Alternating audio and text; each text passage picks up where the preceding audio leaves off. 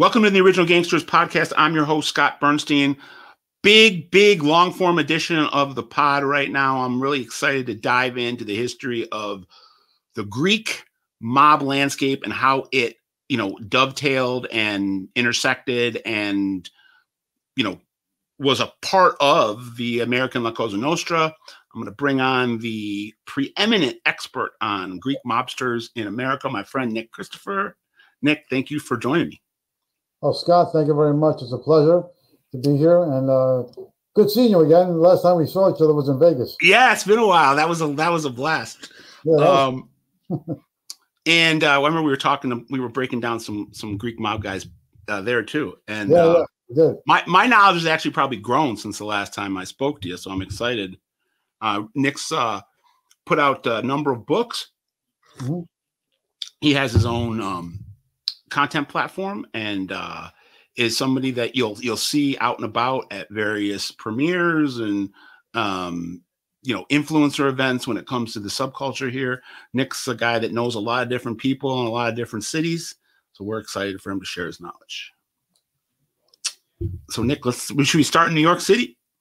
Yeah, I guess so. That's my my hometown, so I know a lot about it. yeah. So, so tell, tell us how you got interested and where were the first kind of stories that you, you gravitated to, uh, to kind of learn about or live firsthand and then tell the world about? Um, well, uh, to start off with, I mean, I got, I was in, enticed by that world because I was kind of around it. Um, when I was 13, I was in a gang when I was 13. And um, so that was my first kind of like, I guess, you know, I want to say mob stuff, but you know, street gang level. Uh, so I got involved in that. Uh, got pinched when I was 21, so I, I kind of knew that world a little bit. And then on top of that, at 13 years old, um, my dad had a cafe, and a lot of those guys used to come in, like New York guys. Mm-hmm. You know, we had um, Booby Cerasani from Sonny Black's crew. Yep, from the uh, Bonannos that you saw in the movie uh, right. Donnie Brasco. That's correct. The guy James Russo played his played played right. They called him. They didn't call him Booby in the movie for whatever reason. They, he didn't want to give up his name. They called him Paulie. Yeah, but the funny, you know, funny story behind all that. Um, when after the movie was made, uh, Booby came into the cafe one day. Me and him were sitting down talking, and he says to me, "You know about that movie, right?" I'm like, "Yeah." He says, "Do you know I sued them?" I said, What do you mean you sued them? He said, I sued them for defamation of character. I said, You're kidding. He says, And, and what happened? He says, I won. because the reason being is they put his character. I mean, a lot of people who, who saw the movie. Yeah. Well, I mean, not, I don't, I'm talking about regular people. I'm just talking people in that, in the law enforcement and that world.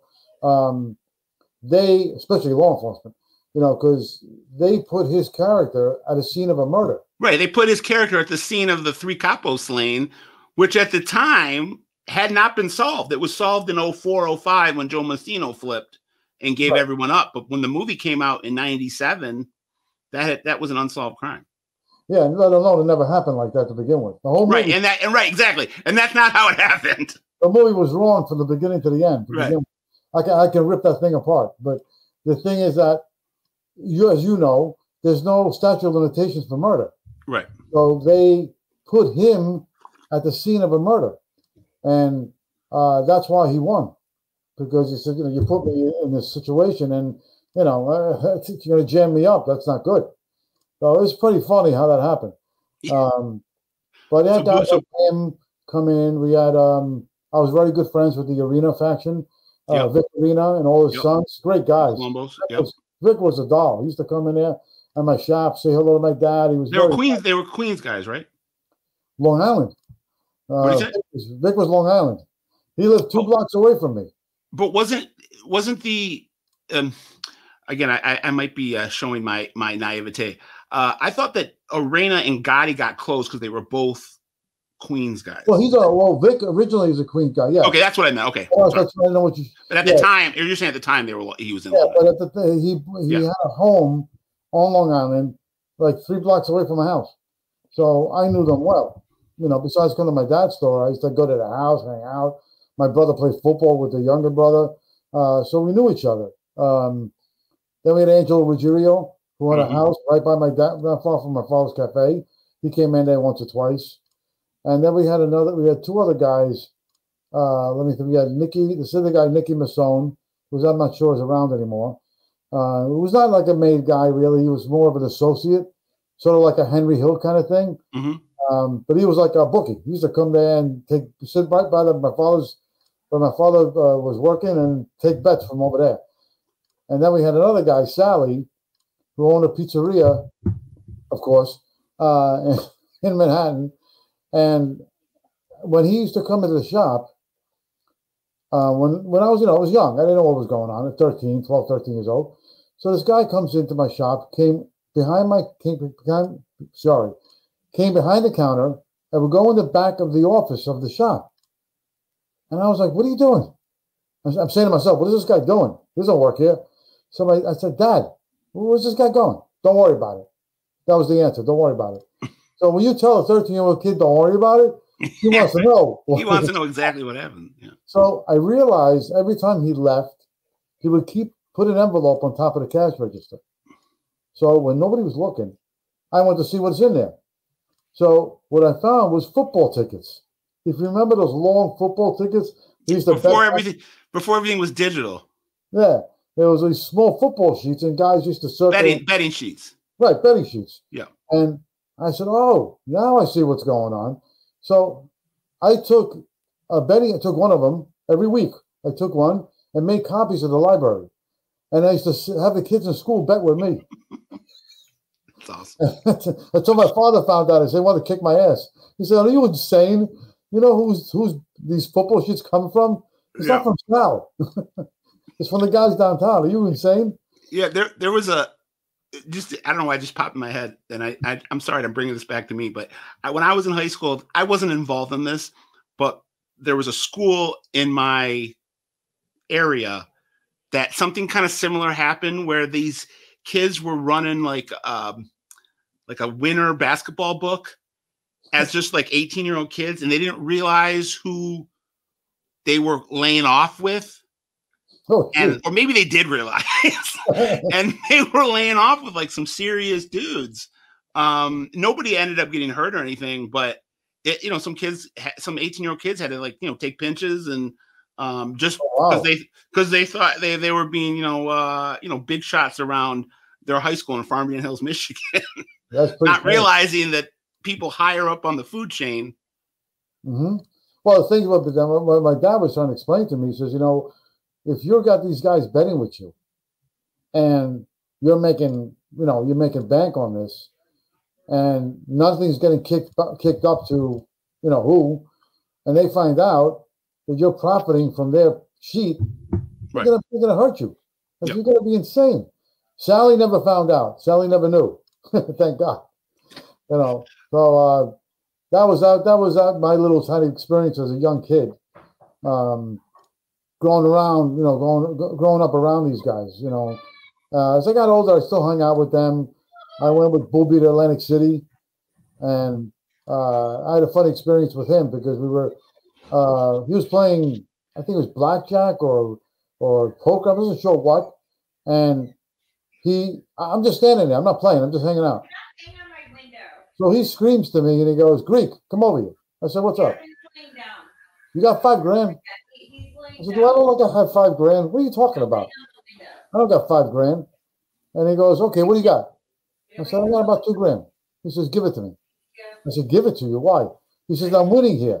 Just give me two grand. I said, All right. So I gave him the 2000. He wins. He wins like, I don't know, he walked away with like 30, 40 grand. So we're driving back to we're driving back to New York. I said, Hey, Bob. He says, Yeah. I'm looking at him like, what's going on? I'm, I'm expecting a cut, right? So I'm like, you know, he says, what do you mean? What do you mean you know? So you know exactly what I'm talking about. The two grand. He goes, oh. Oh, that.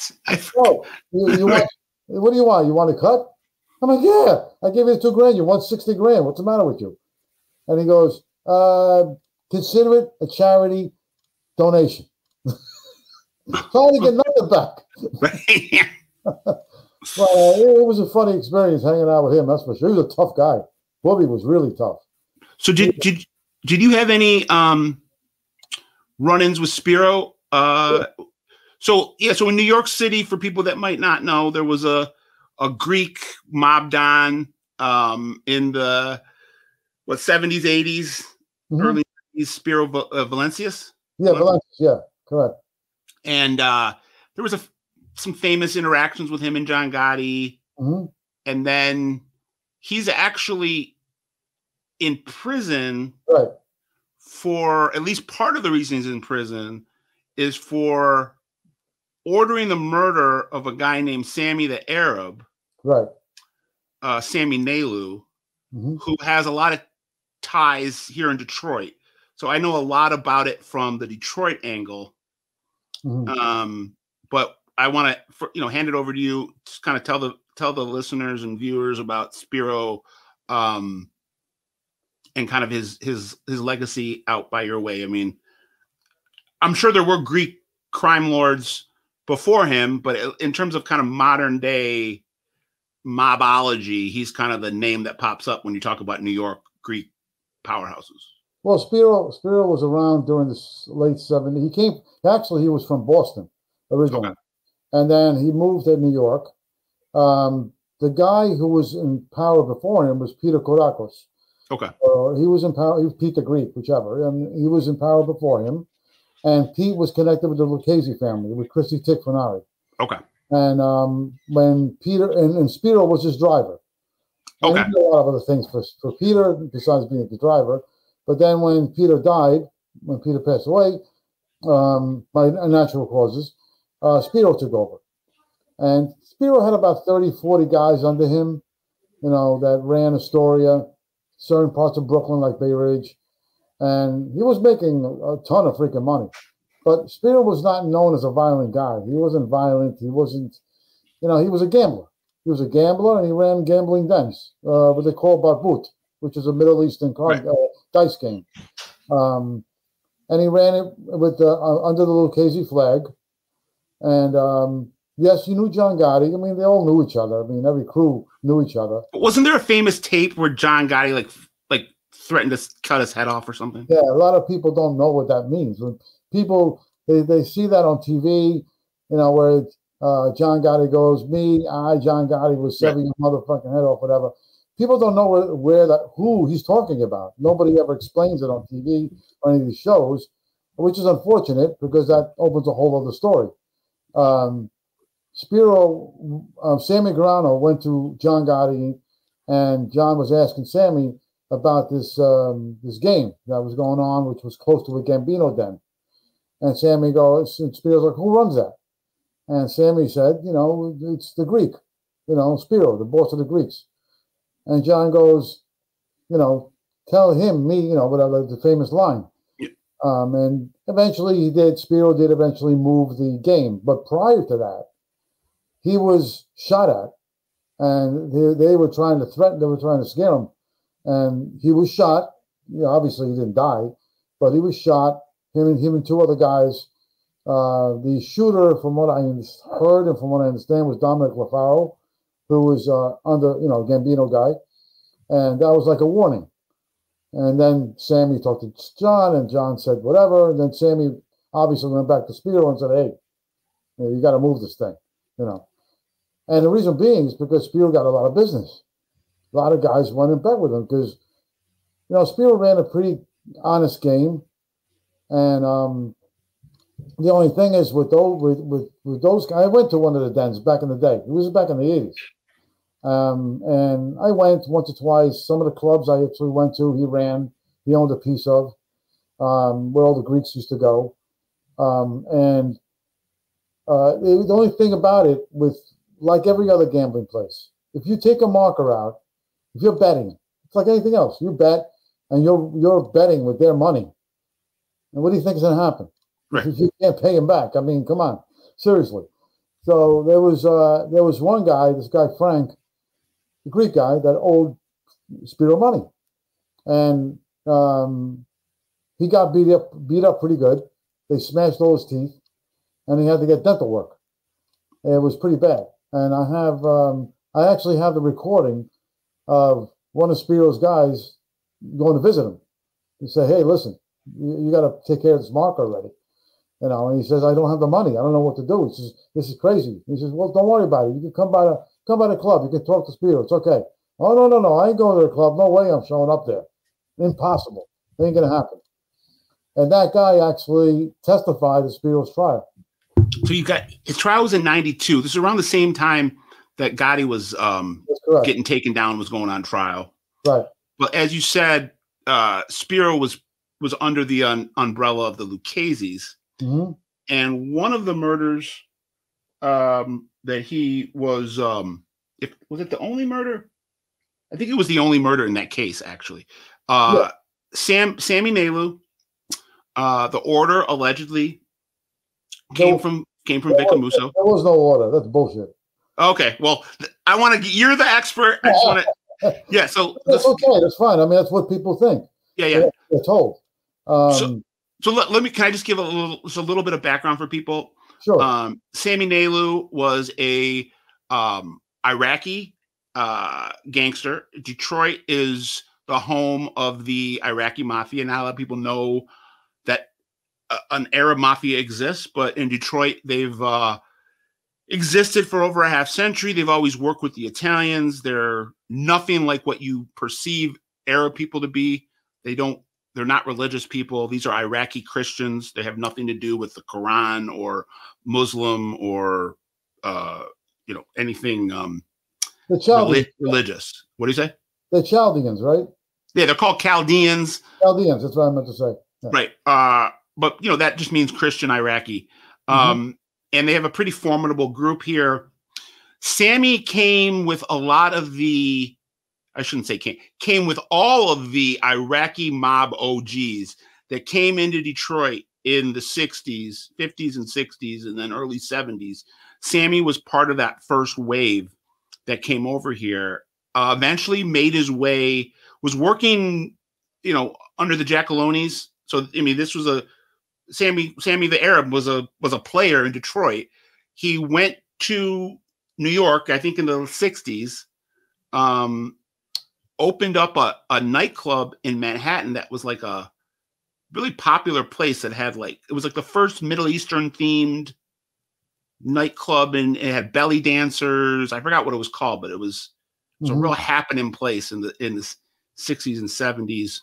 But he was also known as a master thief, mm-hmm.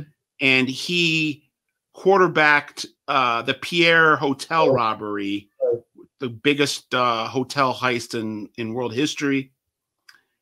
And I I believe I'm, I'm going to tell you my part of it. Then then we'll hear. Then we're going to hear Nick's part of it, and then we'll reconcile it all together and have the real story. uh, so I think that the seeds, from what I understand on my end of it, and I've talked to all the people that were super close to Sammy. Uh, I think the seeds of Sammy Nailu's murder, which which happened in 1988, were planted in the months after the Pierre robbery, he took a lot of that money that was supposed to go to Christy Tick, who was the consigliere or was going to be the consigliere. He took that money to Detroit and he didn't give it to Christy Tick. Um, and there was some bad blood there, I think, that was building up over the years. Um, and and whether or not Vic ordered it or not, Vic was Christy Christy Tick's guy. Oh, you're speaking about Vic Amuso. Right. Right. Um, yeah, you're right about all that. I mean, uh, Sammy, with the Pierre heist was uh, there was um, uh, Bobby Comfort was part of that. Yep. Um, I forgot the Ali. A bunch of guys, bunch of guys. It was, yeah, a, Ali, it was a, I forgot the last guy. The other guy, Ali Habab or whatever. Um, there was two, three, so four or five other guys. Donnie, actually, Tony the Greek was involved too. Donald Frankos. Oh yeah, Tony the Greek. Yeah, and, Bo- and Bobby Comfort was a guy from up in Rochester. Right, and uh, Bo- Bobby was uh, sort of like the uh, mastermind of the whole thing, really. Then Donald Frankos got involved in this and that, and um, Sammy Nailu, of course, and uh, he that was a pretty famous thing. Really and famous. It wasn't just Sammy that took money. Sammy took money. Two other guys ripped everybody off. Donald and Frankos got pissed, and he actually whacked two of them. Yeah. And Bobby Comfort, nothing happened. I mean, he got away with everything. You know, nothing happened to him because he, he didn't steal any money. Um, they actually robbed Sophia Loren's uh, right room, I believe. Yeah, right, right, right. They came, they, they came away with millions, millions of dollars. At, yeah, it's insane. Ten million dollars or something in 1972. Yeah, it's pretty crazy. But um, thing with the thing with um, Spiro uh, killing Sam Manalo, that whole thing is a joke because Sam Manalo was when he got out of prison. Sammy was actually good friends with Spiro. They weren't they right. No, I know, I know, no, I know that. Yeah. And when he got, and actually, the, the, their, their, their wives used to hang out together. So when he got out, um, Sammy got a little too, you know, he was flexing too much, and he was flexing around Spiro's joints. He wanted to try to take over, something like that. So Spiro went to, you know, the Lucchese's. He went to um, first. He went to a gas pipe uh, Casso and said, "Hey," and, Vic Amuso because they were boss and under boss. Mm-hmm. Hey, listen, I got this issue. I got this guy who's bothering me, and Musso and Knespot said, "Is he with anybody?" And he said, "No." He said, "Well, take care of it yourself then. If he's not with anybody, then it's nothing we can do." You know. And Spiro complained. He said, "Wait a minute. I'm under your flag. I'm kicking up to you every month, and not. You can't help me. You know, it doesn't make any sense." So then, so Musso said, "Okay, you know what? You you pay Pete Chiodo every month, who's a, who's a captain. Says you kick up to him, take this up with Pete, and make arrangements. Fine. So Spiro went to Pete, and he didn't specifically tell the Pete, "Hey, listen, go whack this guy." That wasn't what he said. He said, "I got an issue with this guy. Can you help me? You know, let's, let's see, take care of this." So what Pete did, what a Pete, Fat Pete did, he hired two guys. Yeah, Mike but Spinelli, Mike, Mike Spinelli and Richie Pagliarulo. Richie Pagliarulo to go to Spiro's travel agency where Sammy was supposed to meet Spiro there. And when he went there, they you know they whacked him obviously. And in his dying breath, he was told the police, whoever showed up there, the authorities, that it was Sammy, Steve, uh, sorry, Spiro was on the phone and it was him who set it up. And then he passed away, whatever. And then during um, Spiro's trial, which originally was just for gambling, he could have just went away, away for like five years, seven years stint and got out. They tacked on the murder charge. Right. And that is because Fat Pete Chiodo turned on Vic and, and gas pipe. Yeah, and they shot him 12 times at a gas station. Because actually, he, then when they shot him, he didn't flip yet. Right. They thought he flipped. Right. So they, which was a stupid move on their part. So they shot the guy because he was so fat. He was so big. He was like 400 pounds yeah. that the bullet didn't penetrate his skin the way it should have. Yeah, a normal. Yeah.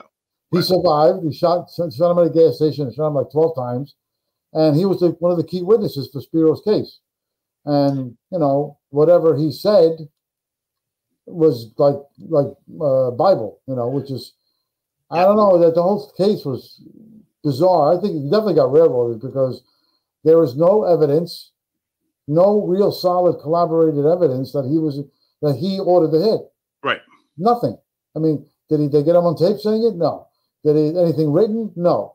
Did they have any? Uh, did he was he there? Did he shoot the gun? No. So Chiodo's the one who ordered the hit. Right. Spiro. So well, you know you know how the government is. Yeah. You know, it's all it's all you know. uh Ends justify the means. Yeah, if they need, they want you, they get you. That's yeah. it. Period. Well, so, I always when I I didn't even realize I knew who Sammy Naylor was. I knew he was killed in New York. I knew it involved the Lucchese's. I had no idea the connection to Detroit. And then over the years, as I've developed more sources in my own hometown, maybe four or five years ago, I was sitting with these guys that I had no clue had any connection to Sammy Naylor. And it turns out that these guys were like his brother. I mean, not as literally his brothers, but yeah. Uh, so I was. Oh, I said I, I thought he was a New York guy. Oh, well, he was. A, he was, but he came from Detroit. So it's interesting, and and I, and I'm not by any means saying that there was going to be some you know war between Detroit and New York. But it is interesting to point out that when this happened in 1988, not the Italians, but the Iraqis in Detroit, who were surprisingly, I would say, more violent than the Italians in Detroit, in 1988, they were in the middle of a war themselves. Hmm. And I've asked those guys, I've asked those guys, you know, if that wasn't going on, is there any way you guys would have, you know, tried to make a a, a beef over what happened with Sammy?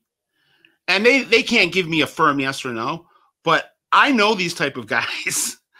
And I can imagine if they had nothing else on their plate in Detroit and their guy got whacked out like that, I mean, who knows what would have happened? But they had a they had a war here in Detroit, the Iraqis between 88 and 93, and they were putting people like in wood chippers and stuff. I mean, it was like real brutal, gruesome shit. So, but these were the guys that Sammy Nailu came over to the country or came over to the United States with. Cool. Okay. Um, let's uh go to Philadelphia for a second. Okay. Um, Philadelphia had a Greek mob for a period of time. Um, the two guys that were leading it in the 70s and early 80s were Stevie Bouras and Harry Petros. Mm-hmm. They were both killed in the same week in 1981, and it was about six weeks or two months after Nicky Scarfo had taken over the crime family in the wake of the Chicken Man being uh, blown up. Those murders are both unsolved. It's pretty understood that that was Nikki getting everybody in line. Mm-hmm. I, I'm not. I don't want to speak out of school, and I don't want to get you in trouble if you don't feel comfortable talking about this. That's totally okay. okay. I've I've put it out there, and and I'm not um, trying to hate or or uh, get in trouble, uh, Georgie Cowboy Martorano. Mm. But the fact is what the fact is. And yep. the fact is the FBI to this day, to 2024, consider Georgie Martorano the top suspect in the Stevie Bouras murder. Uh, Georgie Martorano, again, to his credit, has gotten out of prison. He did 30 years on a nonviolent drug offense. Mm-hmm. Longest uh, serving non uh, longest serving drug offender in the history of the federal prison system, minus any um, acts of violence. So non-violent drug offense. He served 32 years for it. He's come out of prison. He's been out now six, seven years doing just what he did before, but now legally is a master businessman, has taken over the entire kind of legal cannabis space in in Philadelphia and uh, New Jersey. He's living his best life right now, and I'm not trying to uh, demean him or disparage him or or stop him from doing that. But but facts are facts, mm-hmm. and it was a brutal murder uh, in May of 1981, and it and it wasn't just the murder of Stevie Bouras; it was the murder of Stevie Bouras's girlfriend too, mm-hmm. and it was carried out in front of Raymond Long John Martorano. So this would be if the FBI, if what they believe is true, Georgie Martorano was trying to get a button, was given the Stevie Bouras hit as a way to get made into the Philadelphia La Cosa Nostra. His dad, according to the FBI, sets up Stevie Bouras, his dad and his mom. And two men with ski masks break into a bus into the restaurant, go to the table where Stevie Bouras and his girlfriend, Jeanette Curro, oh, cool. is yeah. sitting, and Raymond Long John Martorano and his wife are sitting. I'm told that the gunmen were Georgie Martorano and another guy named Frank Vadino, uh, who was Ralph Natale's bodyguard enforcer. Um, and Long John Martorano moves his wife out of the way and points to, to, to Bouras and Curro, like letting the gunman know, kill these people. So if you believe the FBI, Georgie Martorano, Georgie Cowboy, made his bones by killing a Greek mob boss and an innocent woman in front of his mom and dad. That's pretty sensational. Have you heard that? Have you have you uh, reported on that or or deep dove uh, th- those those murders? Well, yeah. I mean, I know that's exactly how it happened, pretty much. Um, I mean, Buros was was uh, told to go to Melita's restaurant and uh, meet Martorano because he was close to him and he did business with him, and um, he was there to discuss business. And especially this is like you said after Nikki came into power. Uh, Nicky Scarfo at the time was wanted uh, raise the street tax on everybody. He wanted everybody to get in line. Everybody. So the Greeks, um, Bouras and Harry Petros, um, whose son I, I know well, um, they um, they ran what they ran the PCP trade in Philly, and they kicked up to to private private Nicky. They kicked up to Angelo Bruno, mm-hmm. and there was a peace, and everything was fine, and everybody made money, and it was good. Uh, so they ran the PCP trade, and they ran you know loan sharking and some gambling. They had some they had a gambling den in Upper Darby, in PA, um, with this other guy Petros Petros. Uh, so they when that happened and Nicky, you know, requested more money from everybody, uh, the Greeks kept us like, I don't think so. I said, we've been under Bruno for so many years, and it's been known that this is what's this is what's expected of us. And just because you came into power, you, you want more money? No, no, not, not, not going to happen. So they kind of told him, like, you know, all intents of purposes, purposes, no, I don't think so. So that kind of set both of them up, Harry and Steve, for the hit. And uh, George Georgie is like, I don't know if he pays attention to my reporting. I don't know if he even knows who I am, but um, I know Georgie is very uh, being his image is very important to him. He wants to be known as a non-violent former criminal. Um, he was never. We should be very clear. He was never charged in um, the Bouras Curro double homicide. He was only listed as a suspect. No charges ever came. Georgie never got a button. He went to prison before there was ever an opportunity for him to get made. Mm-hmm. His dad went to prison as well. Um, I want to get your take on this last part of this this story. At least my reporting tells me. I believe. Well, first, I believe anybody that gets killed in the mob or in the world of organized crime. Most of the time, it's not just one thing. It's a series of things that accumulate. Mm-hmm. Um, just like with Sammy Nalu, as we were just talking about. I don't think yeah. it was a series of things happened and then it, it sets the sets the a foundation for for your, for your demise. Mm-hmm. I believe there's a strong possibility that that 1981 double, double homicide played at least a small role in the decision to kill Long John Martorano in 2002, I believe. Um, Long John Martorano's uh, came out of prison, was bumping, bumping. Georgie was still in prison. Georgie wasn't going to get out for another 15 years. Um, but Long John came out after 25 years or so started bumping heads with Joey Merlino and that crew. Merlino was in prison, but Joe Ligambi, who was his mm-hmm. acting boss. Who was Joe Ligambi's consigliere at that point? It was a guy named Joe Crutch Curro. Yeah, that's Jeanette's son, brother. Right. Um, so I was told that in the decision making process to put the contract on Long John's head, Ligambi was getting pushed in that direction by his consigliere, who held a grudge against Long John and Georgie for what had happened to Jeanette Curro 30 mm-hmm. years before that. Do you take, do you, do you uh, hold, is there any, you hold weight in that? Does oh, that yeah. weight to you? I, I believe that's true. Yeah. I mean, common sense will tell you, you know, first of all, in the mob, you don't kill women. That's the first thing. Jeanette Curro uh, had nothing to do with whatever Bouras was doing, and she could have been removed from the scene very easily. Uh, but that they didn't do that, obviously.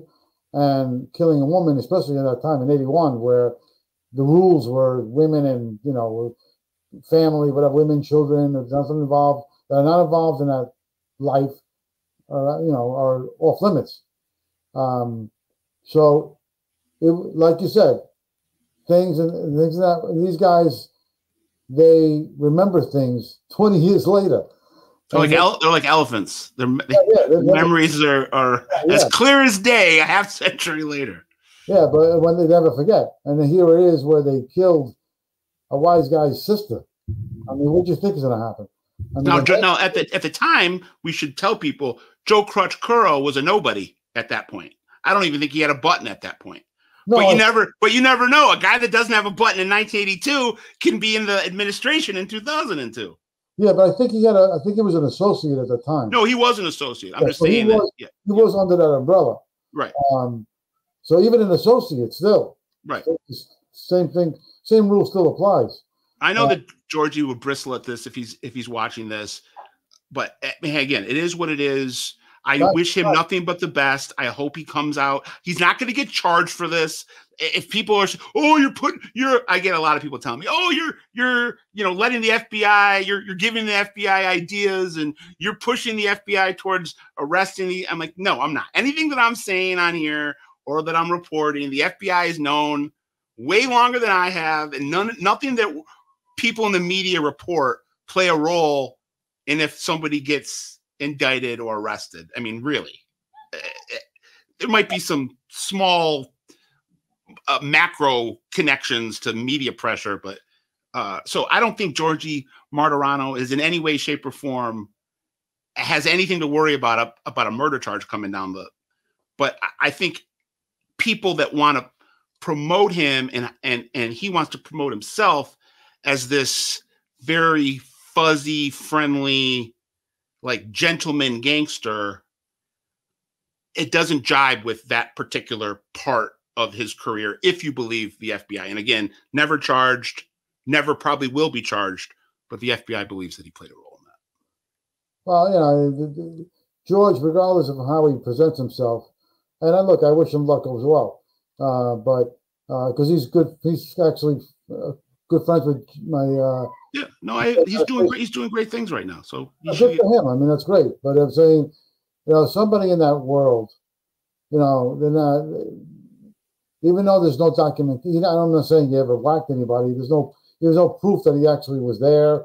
This is just what we what we right. know and what we've heard. Yep. But we have no solid proof of that, and um, no real evidence. Yep. So it's that's something that's going to die with history. And Frank Vidino's long dead, so the, the, alleged accomplice isn't around either. So, yeah. Um, let's uh let's go to my hometown for a little bit. let's talk a little bit about the Detroit Greeks. Um, well, believe it or not, there wasn't just the Petros and Bouras crew. There was a couple of other guys that were in, in that area. There was uh, Athanasios Athanasides. We're talking, we're talking about it. We're talking about in Philly, right? That's in Philly, yeah. Yeah, yeah. He ran a whole whole drug uh, organization with uh, George Botsaris. Um, and they had a crew of like, I don't know, 15, 20 guys that ran a major heroin ring in Philly. Uh, this was after the Petros and Bouras hits. This is way out. This is like, I don't know, 80, 89, something maybe a little later. Mm-hmm. Um, I mean, they all got pinched eventually because uh, they they the, the FBI found paraphernalia in an apartment and they connected it to, to that whole crew.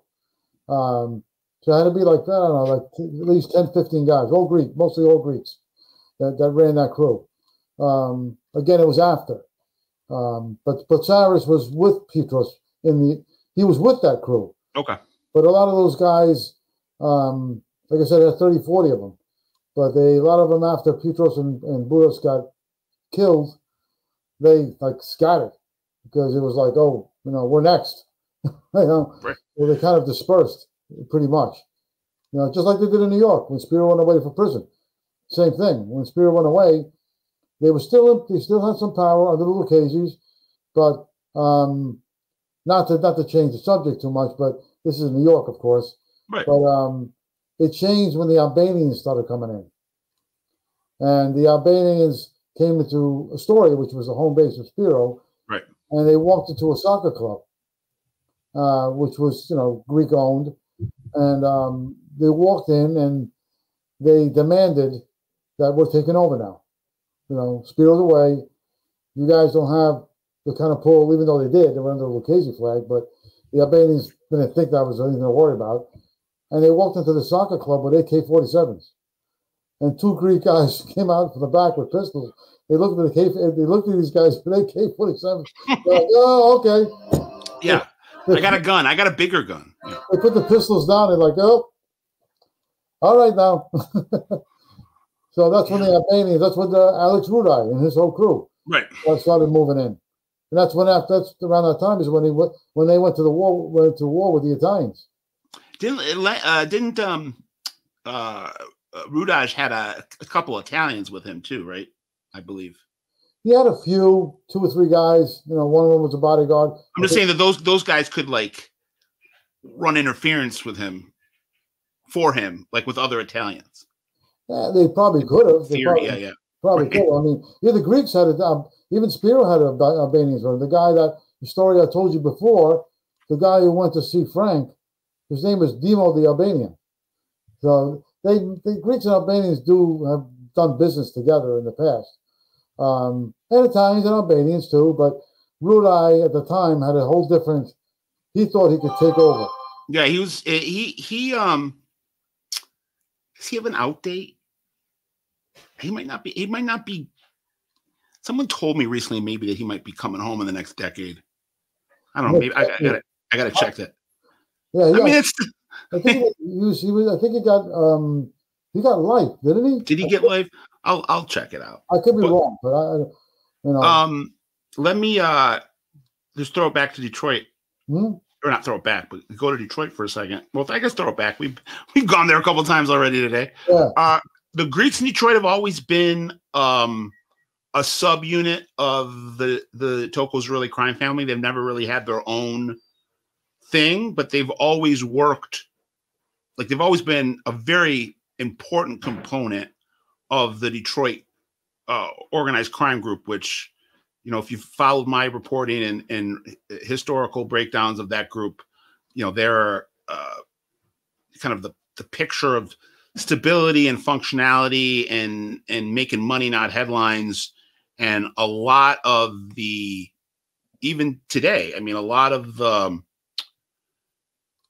the activity when you're talking about Detroit proper and not the suburbs, our little Italy in Detroit is Greektown. It's weird for people to understand that we don't have a little Italy, but Greektown in Detroit forever has been the main entertainment district. Mm-hmm. Um, Monroe Street, uh, dating back hundred years. Uh, and if you want to party in Detroit, even today, you go to Greektown. Um, and we don't have a little Italy, so that's kind of the that's the spot downtown, and uh, it was settled settled by the Greeks and uh, all the the biggest Greek mobsters in Detroit history came out of that neighborhood and was uh, were working for the Corrados, the Vitalis, the Giacalones. Mm-hmm. Um, but uh, the first big guy that I started to learn about was Pete the Greek, um, Katranis, yeah.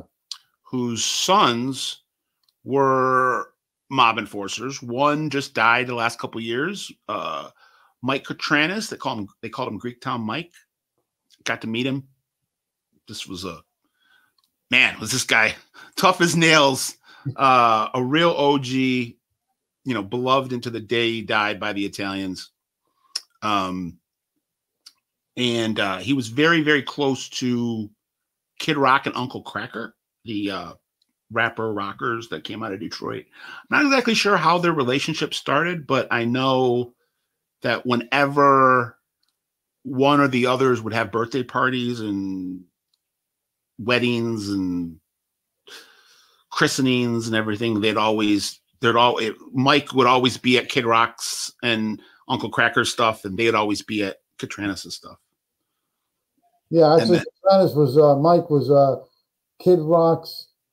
Uh, he was the godfather, the one of yeah, one of his kids. Yeah, yeah, Chris and one of his kids, which is funny. Uh, from what I heard, Kid Rock was having some kind of issues, uh, with distribution with his record or something like that, and and he asked Mike for help, and Mike, you know, uh, intervened and got it taken care of. Yeah, and, um, that's how they. I think that's how I think that's how they became closer. I believe at that point. And yeah, you're right. They used to go to each other's parties and christenings, birthdays, all that kind of stuff. Um, but yeah, there was Mike and it was uh, uh, Pete, the original. Uh, and then his brother, Little Pete. Little Pete. Who didn't make it out of the 70s. No. Um, kind of famously didn't want to fall in line behind the Giacalones and the Corrados and the Vitalis was not as um, buttoned up as Mike. You know, Mike was somebody that there was no question about loyalty with Mike or with Pete.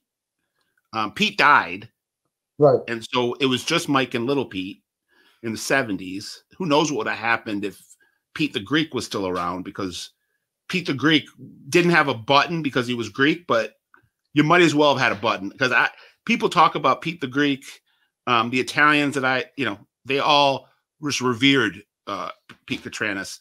One of the stories I heard was that um, he could take a a, a a like a card like a deck of cards and snap it in half. Uh, but yeah, little Pete was um acting uh pretty rogue and uh mm-hmm the final straw with him was a, a, a sucker, allegedly a sucker punch that he threw at Tony Giacalone's protege, a guy named Ronnie Morelli, right. and uh, they were all at. I don't know if they were at the the Grecian Gardens was the big place in in Greektown where mm-hmm. they would all hang out at, but then there was another place called the Bachelor Quarters. I don't remember if they were Grecian Gardens or Bachelor Quarters, but a little Pete came up to Ronnie when Ronnie wasn't looking and and and smacked him. And then a couple days later, allegedly, his own brother was forced to kind of serve him up. Mm-hmm. Um, they found him in the trunk of his car with his hands cut off, and uh, out by where I grew up in Bloomfield Hills, Michigan, which is like the, you know, the, you know, like the where all the rich Jewish people live, or rich waspy people, Jewish people.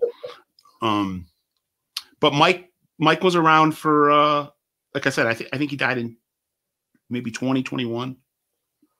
Yeah, something like that. But uh, that story is correct. Little Pete was uh you know, he was not kicking up like he's supposed to. And he didn't believe that was necessary and he thought he can get away with it. And um uh, you know, obviously he got whacked. He was and, he was right he was robbed he was not kicking up and he was muscling in on guys he had no business muscling in on. Right. He just totally disobeyed any rule, any, you know, and uh, I'm sure, I'm sure, I wouldn't doubt it that Mike advised him, you know, stop doing this. You're out of your mind. I, am pretty sure Mike had a couple talks with him oh, saying that you can't do this. Like, and I, and I have no, there's nothing I can do, or the fact that our dad was so revered. There's nothing that, and either of us can do look, our hands are tied if you keep on behaving the way you behave. And you take a swing at, at Tony Jack's guy who Tony Jack had been sending at you to tell you to pump the brakes. You might as well have taken a swing at Tony Jack. Yeah, that's pretty. I, I can. I mean, that's like how dumb can you possibly get? Uh, but the really crazy part, that you just mentioned, is that Mike set up his own brother. Right. Uh, which is, I don't it's think tough. he really had a choice. No, I don't think he did either. And yeah. I actually think, not to get too conspiratorial and go down the rabbit hole, we're not going to go there, but I think it's possible that Mike Katranis was killed at the same house that Jimmy Hoffa was killed at. Because um, they're both in Bloomfield Hills, and it was a place that uh, was used for uh, sit downs. So uh, I think I, I've always heard rumors that maybe that Katranis was told to show up for a sit down at this uh, house on the hill, uh, and they whacked him there just like they did Hoffa a couple years later. But who knows? Um, yeah. And you definitely know the story. I'm gonna have you tell it, and then I'll color it up after you're done. But oh, the, the story of Ernie Kanakis, one of the craziest stories, whether you're talking any type of right. OC story. Um, this guy had uh, 20 lives. Pretty much. Uh, same similar situation actually with little Pete, really, because yep. Ernie ran a couple of gambling places and a couple of diners here and there.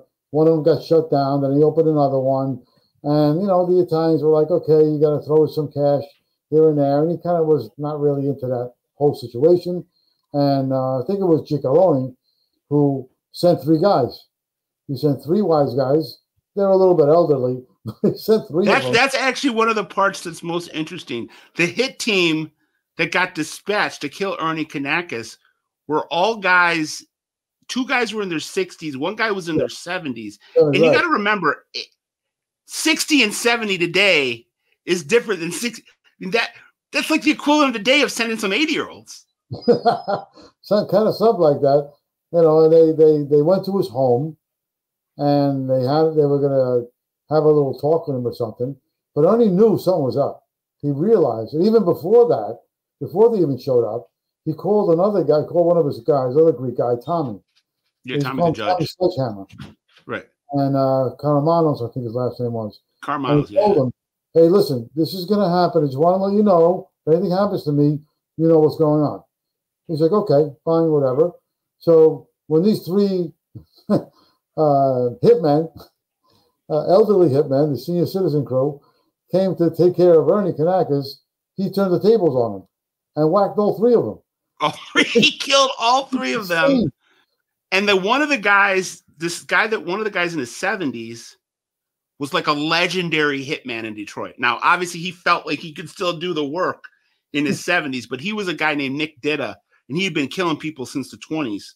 And he was he was like a guy that that, that the Detroit administration used to like send around the country to kill guys.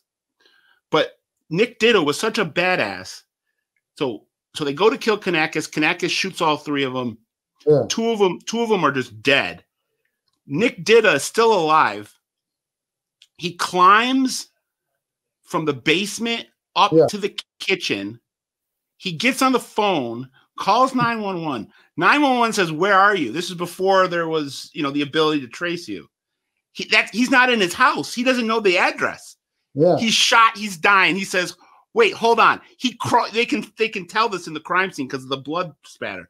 He crawls out into the porch, gets the the address, crawls back into the kitchen, grabs the phone, tells them the address, and then when the ambulance arrives, he he was dead with the phone in his hand. Yep, pretty crazy.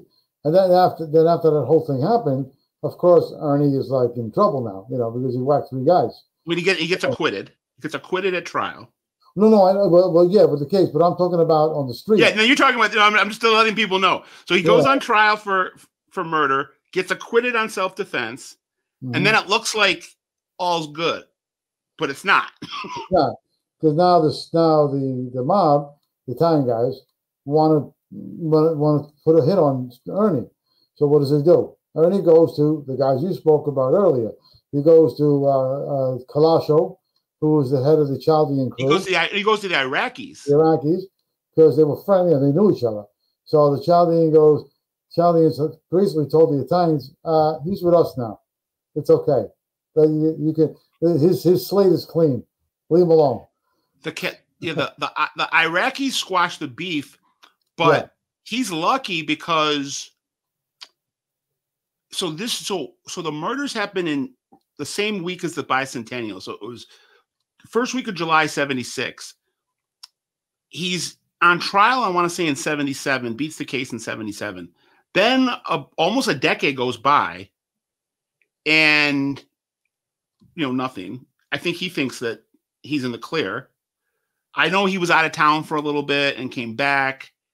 And then the Giacalones who don't who have long memories. Yeah, don't forget. Give give a contract on on him, give a contract for him to their guy Frank the Bomb Bomarito, R.I.P. the Bomb. I got the Bomb was great to me at the end of his life. Uh, I I just have nothing but positive things to say about this man, even though he was a killer. Um, Frank the Bomb gets the contract, and he goes and tries to subcontract it to this hillbilly named Charlie Acker, Detroit has a lot of um, people that came up from Appalachia uh, for the for the auto jobs. So you got a, a, a, good you know group of people that have Southern ancestry, and the criminals in that little world gravitated towards the Italians. So this Charlie Acker guy gets the contract on Kanakis, and uh, he's working for the feds.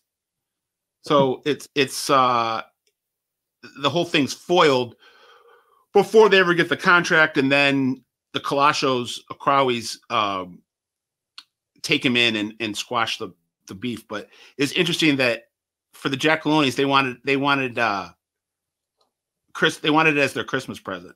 So they wanted um, the signal to be that it was done was for Frank the Bomb to send them a Christmas card with a picture of Kanakis' dead body in it. I never, yeah. never happened. Never. Obviously not. uh, and let's let's uh, finish up here. Let's go to Chicago. Talk about Gussie Alex for a second. Um, so want to talk about a underrated superpower legend. Mm-hmm. Um, you know, he was uh, probably the most powerful non-Italian in Chicago mafia history. There might be some people I'm forgetting, but he was he was Tony Accardo's uh, fix-it man. Mm-hmm. Uh, ran the Loop for people that aren't from Chicago. The Loop is the is the downtown business district where all the government offices are, or all the high rises, all the corporate corporate uh, headquarters are. And that was Gus Alex's territory from like the 40s until the 90s. Yeah, uh, he, he was uh, he was part of a group called the Connection Guys. Uh, Gussie Alex, uh, Murray, Camel, Humphreys. Yeah, uh, Jake, they all learned from Jake Guzik. Jake Guzik, Jake Guzik was uh, uh, Gussie Alex was Gus uh, Gussie Guzik's uh, protege. Mm-hmm. Uh, he learned from he learned from him, and um, Gus was like the number three guy. and he ran the whole political machine knew how to bribe guys, knew ran, you know, with the judges and everybody, you know how to fix cases and so forth and so on. Um, he was a he, and he had his own crew of Greek guys, believe it or not. There was Gus Zapas, There was um, there was a whole crew. I can't remember all the names right now. There's so many of them. Because he ran a little he ran little pockets of gambling dens yep. around the Chicago area. Yep, North Side. That that Gussie ran. Um, but he had other guys, to, you know, run the run the ship, so to speak, and they just kicked up money to him, and he kicked it up to either Joey Aiuppa or whoever was in power at the time, uh, Tony Accardo. Uh, but yeah, Gus was. They even listed him in Time magazine as the 15th, 15th, one five strongest boss in America. Yeah. So, uh, but like I said, he was so low key, never really made the papers. Um, he used to but there was one there was one detective, William Roemer, that used to drive Gus freaking crazy. He, he was a let Bill Roemer. Uh, I I met him at the end of his life. He was a legend. Don't get me wrong, but he was also a legend in his own mind. He he thought very highly of himself and would uh, make the the the kind of rivalries with him and the guys he was chasing very personal. Oh yeah, with Gus, forget about it. Follow him everywhere. And it came a point where Gus was like, every time he woke up, he's there. Like he's outside of my yard. He's in front. And he's and he went and complained to Tony Accardo. He says, This guy's up my ass every freaking time I move it. I'm I'm I'm having and he was suffering from like anxiety at that time. So Carter goes like, listen, why don't you go to the Alps, relax with your girlfriend, take a break, and then come back. Maybe you'll feel better. And that's exactly what Gus did and he took off because uh, he used to ski a lot. He used mm-hmm. to go to the Alps with his wife, Margaret, at the time. Uh, so he did a lot of that, and that's where he kept a lot of his money in Swiss banks. Uh, I mean, the guy was like a multimillionaire. Yeah, it's amazing how much money this guy made. Uh, but his brother was with him too, Sam. Sammy Alex, right? Sammy Alex. He's a he was called Slim, and uh, I think it was Slim. And no, no, wait. Gus Gussie was Slim, and Sammy was something else. Yeah, he was. I forgot the nickname they gave him, but uh, yeah, Sammy ran a lot of stuff for uh, for his brother. Um, and there was um, another gentleman I can't remember his name. Oh no, it was Gus Zapas. Gus Zapas was also under Gussie Alex, and there was a lawyer, called Frank Regano, yep. who represented a lot of guys in Chicago. and there was I forgot the other guy's name. There was another a Jewish guy that was with Regano. It was Lenny Lenny, Lenny Patrick. No, a different guy. Whole oh, different guy. guy. Different okay. guy. His name is Al something. I can't remember the last name. And they were out to dinner at a ballroom, very fancy restaurant. It was Gus Zapas, Frank Ragano, and this other guy. Now the other guy was it Allen Dorfman? Maybe it was Allen. Maybe it was Al Dorfman. Okay. And there was a woman there that was with them, and I think the woman was somebody somebody else's girlfriend or something. And Dorfman disrespected her. He was like looking at her ass, all that kind of stuff. And Zapas didn't like that. So he told he turned over to Ragano and he says, Listen, if you want me to take care of this, I'll bring this guy to the roof and throw him off. and Ragano said, This guy's freaking insane. well, you know, he people, you know, sometimes the mythology and the and the romanticism can sometimes blur reality and you look at a guy like Gus Alex from you know from an outsider's perspective and say well he wasn't Italian and he wasn't a made guy but Gus Alex was powerful was more powerful than 99% of the made guys. He mm-hmm. was for all intents and purposes he was Accardo's consigliere Accardo trusted him more than he trusted most of the Italians that he sought for counsel. Um and this guy was, like you said, I mean, in the in the world of, of the Chicago mob over the last 100 years, if you if you were going to do a ranking system of who had the most juice, I mean, he makes the top at least the top 10, if not the top five, and he's not Italian. yeah, but the, there's only one guy didn't like him. Right. Sam Giancana didn't trust him. Right. And I know why. Because Sam Giancana's daughter, Antoinette, married a Greek guy who was uh, who's who did abortions, and Sam Giancana hated it. Antoinette actually converted to be Greek Orthodox because uh, Sammy didn't want his daughter to be with him, and since that time he never trusted Greeks. And he, Gus Alex was one guy he did not trust at all, but he had to do business with him. He didn't have a right. choice because Accardo liked him, and uh, that's a, a, funny story how that how God, Sammy's opinion of him well, Nick, this was awesome, man. I had a really good time. Thank you for joining us to talk about uh, Greek mob guys. I want to have you back, and we can chop it up again and let everybody uh, know where they can find you. You have a great book, uh, Mafia Ties, Prison Rules. Uh, let, let let people know about the other stuff that they can find on you. Well, yeah, uh, Mafia Ties is called Mafia Ties of Greek Syndicates, uh, which is about exactly what me and Scott just talked about, but more. I talk about guys in Florida and in Texas and whatever. Um, that is actually being republished by a Canadian publisher, and it should be out in a month.